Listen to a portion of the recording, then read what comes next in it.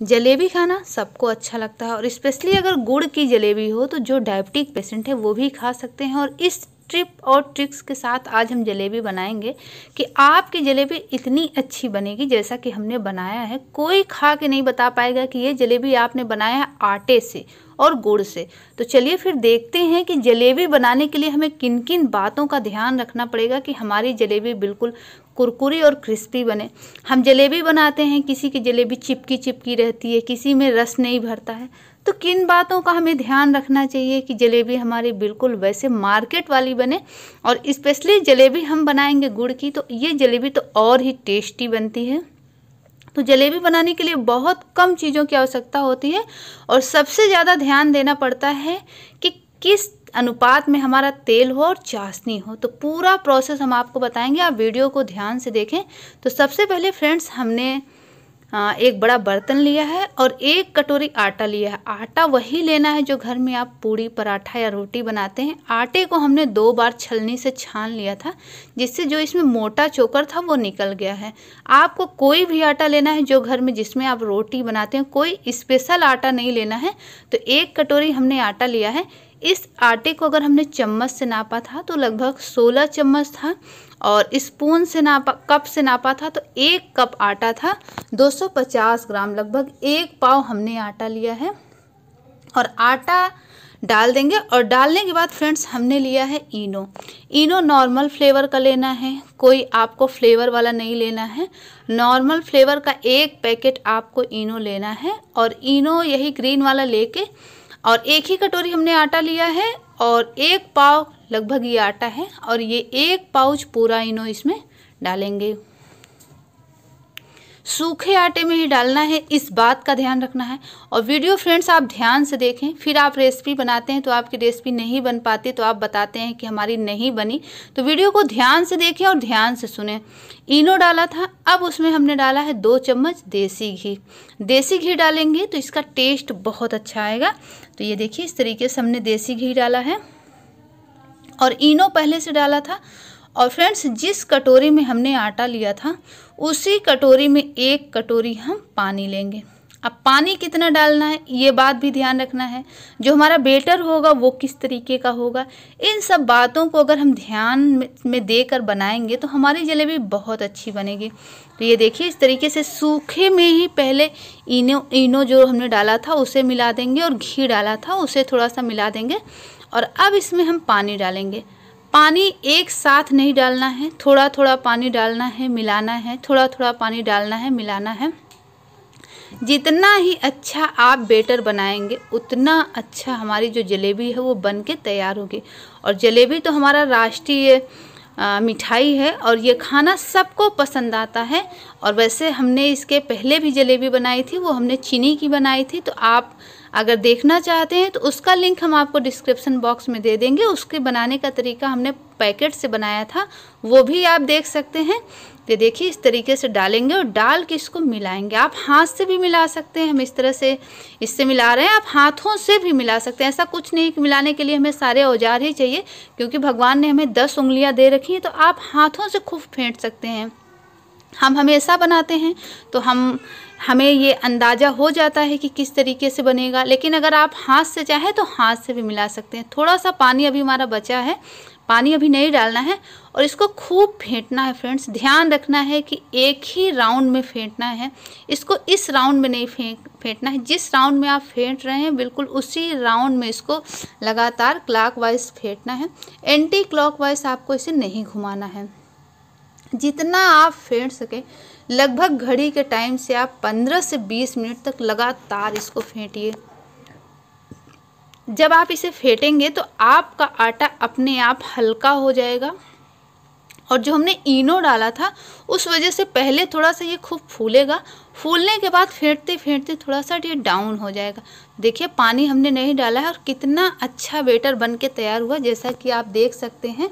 अब बेटर में क्या ध्यान रखना है? तो आपने उसमें देखा कि किस तरह से गाढ़ा है। अब हम चम्मच में आपको बता रहे हैं कि बेटर किस तरह से आपको पहचानना है कि हमारा बेटर बिल्कुल परफेक्ट बन के तैयार है।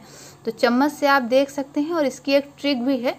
इस तरह से चम्मच को उल्टा करके उसमें आप लगा लीजिए और जब आप इसको गिराएँगे, तब भी चम्मच हमारा पूरी तरीके से साफ़ नहीं होगा। ये देखिए, लगा हुआ है ना? तो इसका मतलब कि हमारा बेटर बिल्कुल परफेक्ट तैयार तैयार हो गया है बन के अब ये बेटर से आप बनाएँगे तो कभी जलेबी नहीं ख़राब होगी। अब देखिए बीच से हमने उंगली से एक रो बना दिया तो इस साइड और उस साइड का बेटर आपस में मिल नहीं रहा है। मतलब कि हमारा बेटर जो है, ये जो अनुपात है पानी का, वो भी परफेक्ट है और फेंटा भी खूब अच्छी तरीके से है। ये देखिए, इस तरीके से आप चम्मच से ट्राई कर सकते हैं, अगर आपको उस तरीके से अंदाज नहीं मिल पाता है। बिल्कुल ऐसा ही गाढ़ा घोल इसका बेटर बनाना है। पतला ना होने पाए। अगर बहुत ज़्यादा पतला होगा तो फिर जलेबियाँ हमारी उतनी अच्छी नहीं बन पाएगी। तो थोड़ा सा इसको हम और फेंटेंगे। हमारी बेटी बैठी है। आप जानते ही हैं फ्रेंड्स कि कितना मुश्किल से हम वीडियो बना पाते हैं और वही चीज़ें हम आपके साथ शेयर करते हैं जो घर में हम बिल्कुल परफेक्ट बना लेते हैं और अपन कोशिश करते हैं कि जो रेसिपी आपको दें, उसको हम दो बार, तीन बार, हमेशा हमारे घर में ऐसे ही बनती है, इसी तरीके से। अब आप देख सकते हैं कि थोड़ा सा पानी बचा हुआ है। इतना पानी बच गया है, अब इसे नहीं डालना है। आप पानी का अनुपात यही रखिए, जिस कटोरी से आपने आटा लिया है, उसी कटोरी से हमने पानी लिया था। और इस तरह से मिलाते मिलाते इतना थोड़ा सा पानी बच गया है। और बेटर भी हमारा तैयार हो गया है। और अब बेटर को हम लगभग पाँच से सात मिनट तक इसको ढक के रखेंगे। बहुत ज़्यादा देर के लिए नहीं रखना है, मुश्किल से पाँच से सात मिनट तक। तब तक हम इसके लिए चाशनी तैयार कर लेंगे। तो ये इसको हमने ढक के रख दिया थोड़ा सा रेस्ट के लिए। अब देखते हैं मैं चाशनी बनाने के लिए किन किन चीज़ों की आवश्यकता होगी। तो इसके लिए फ्रेंड्स हमने एक कटोरी आटा लिया था, दो कटोरी हमने गुड़ लिया है। गुड़ एक आपको ज़्यादा पीला दिख रहा होगा, एक हल्का पीला दिख रहा। तो ये फ्रेंड्स हमने इसलिए लिया है, इससे आपको ये ना लगे कि गुड़ कौन सा था। गुड़ पकाने से एक ज़्यादा पीला हो जाता है, एक कम पकाया गया है, क्योंकि ये तो गन्ने के पेड़ से बनाया जाता है। तो ये देखिए, इस तरीके से गुड़ को हम ले लिए हैं, दो कटोरी हमने गुड़ लिया है, क्योंकि जब भी जलेबी बनाएँ, चाशनी परफेक्ट होनी चाहिए। चाशनी हमारी कम रहेगी तो हमारी जो जलेबियाँ अच्छी नहीं बनेंगी।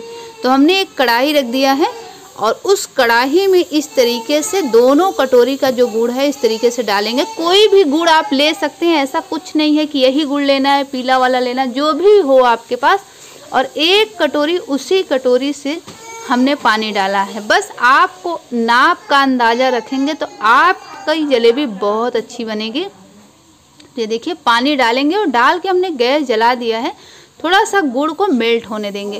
ये देखिए, गुड़ हमारा थोड़ा सा मेल्ट हो गया है। गुड़ में डंडियाँ होती हैं कहीं कहीं कंकड़ होते हैं तो इस तरीके से थोड़ा सा हम छन्ने से इसको हम छान देंगे, जिससे इसमें जो गंदगी है वो साफ़ हो जाए। आप गुड़ को पहले नाप के भी रख दें भिगो के तो उससे भी पिघल जाएगा तो भी छान सकते हैं, पहले भी कर सकते हैं। इस बात का ध्यान रखें, क्योंकि खाना है, जलेबी बनाना है तो अगर जलेबी में कहीं ये डंठल या डंडी, क्योंकि ये गुड़ जो होता है, गन्ने से बनता है, अब ये चाशनी हमारी बिल्कुल तैयार हो गई है छन के तैयार हो चुकी अभी बनी नहीं है। अब इसमें थोड़ा सा हम अच्छा कलर देने के लिए थोड़ा सा बहुत कम जैसा आप देख रहे हैं, हमने चाकू के नोक से फ़ूड कलर डाला है, ऑरेंज कलर डाला है और डाल के इसको हम उबाल रहे हैं। अब चाशनी आपको ध्यान देना है कि चाशनी हमारी कैसी होनी चाहिए। चाशनी ना तो बहुत ज़्यादा, ना बहुत कम। जैसा कि आप हमारे हाथों में देख के अंदाज़ा लगा सकते हैं कि बिल्कुल चाशनी चिप चिप होनी चाहिए, जैसे ये हाथों से हो रही जैसे हम खींचते हैं उंगलियों को तो वो तार टूट जाते हैं।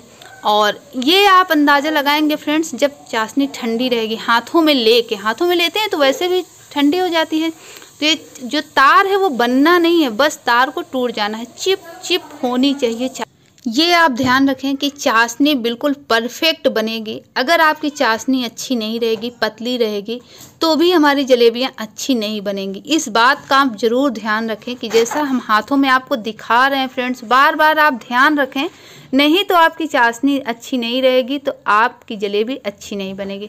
हमने जो कलर डाला था वो ऑप्शन था चाशनी में आपकी इच्छा हो तो आप डाल सकते हैं, ना इच्छा हो तो आप ना डालें।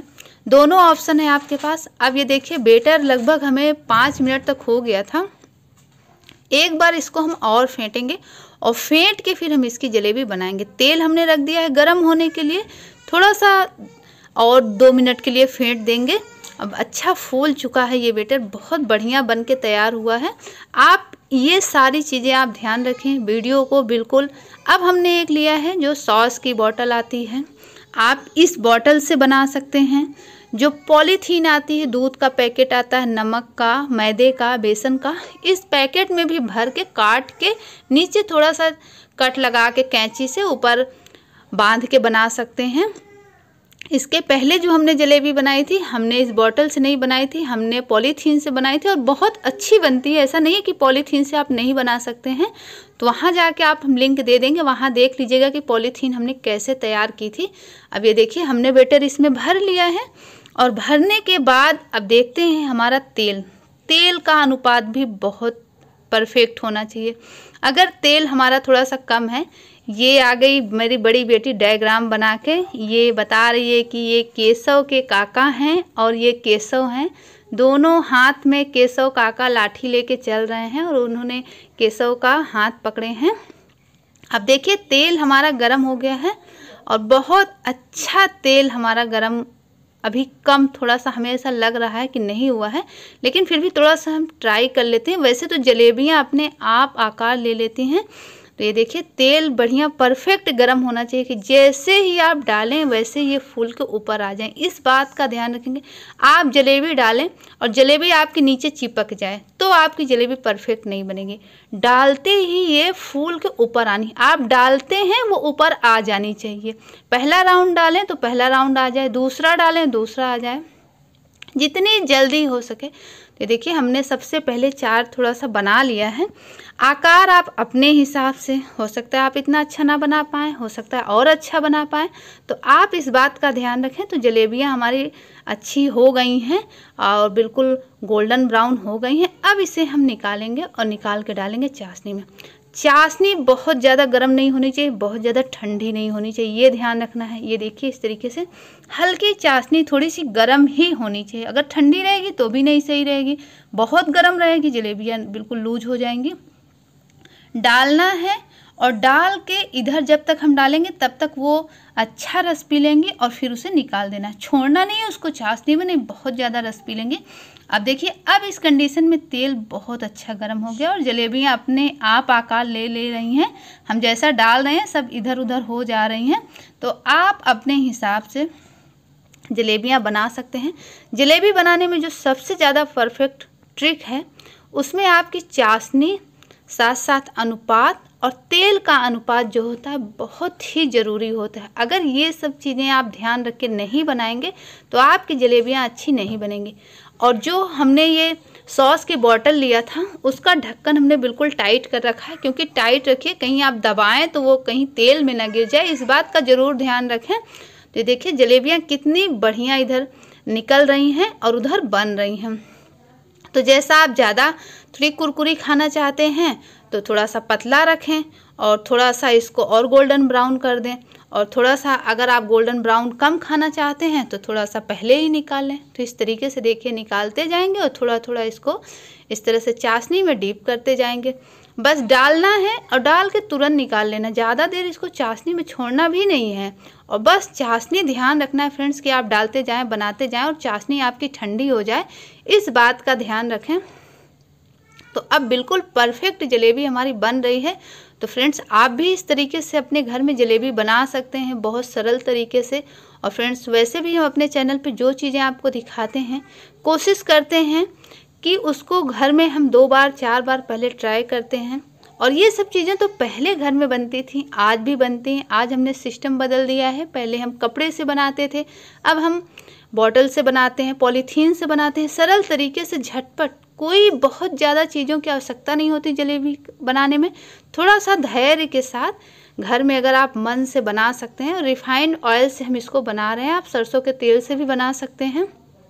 जो भी आप बना सकें तो ये देखिए इस तरीके से जलेबी हमने बनाया। और सबसे ज़्यादा इसमें ध्यान देने वाली बात है, आपका अनुपात आप ध्यान रखें। और फिर वही एक बात कि किन बातों का ध्यान रखना है? अनुपात साथ ही साथ चाशनी कैसी बननी है परफेक्ट और तेल। तेल भी कम गर्म रहेगा तो हमारी जो जलेबियाँ रहेंगी वो नीचे जाके चिपक जाएँगे। तो देखिए, कितनी बढ़िया फ्रेंड्स जलेबी बन रही हैं, जैसा कि देख के ही मुँह में पानी आ रहा है।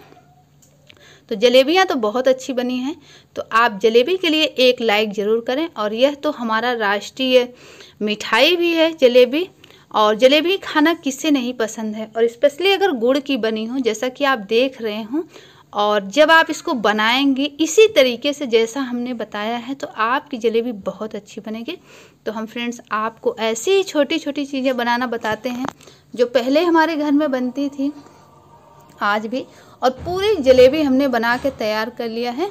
तो अगर हमारी रेसिपी आपको अच्छी लगती हैं, हमारे बताए हुए टिप्स आपको अच्छे लगते हैं तो चैनल को सब्सक्राइब करें और कमेंट करके ज़रूर बताएँ कि हमारी जलेबी बनाना आपको कैसा लगा और नेक्स्ट रेसिपी हम आपके लिए क्या दें और क्या चीज़ें आपको नहीं अच्छी लगी, क्या नहीं समझ में आया, आप हमसे कमेंट करके पूछ सकते हैं।